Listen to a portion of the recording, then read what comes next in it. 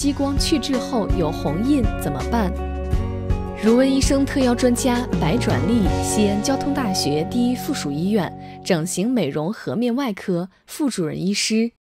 激光去痣以后呢，有红印是属于正常的，因为我们激光去痣完了以后呢，它本来就产生了创面，创面愈合呢，它就会有一些毛细血管增生啊。我们知道，我们组织修复它需要肉芽组织的，肉芽组织就是我们成纤维细胞和毛细血管的。一个组成，所以呢，它红是正常的。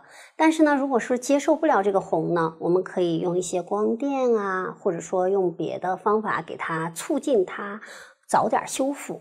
但是呢，也可以等一等，等上三到六个月，它也就慢慢就好了。如果红的厉害的话，我们去之后两周吧，我们看一下，如果特别红，我们可以用光子或者说我们的染料把那个红给它去一去。因为我们的瘢痕组织，它里边要是如果毛细血管扩张特别厉害的话，那就会引起增生了，引起瘢痕疙瘩。所以这个时候干预还是蛮好的。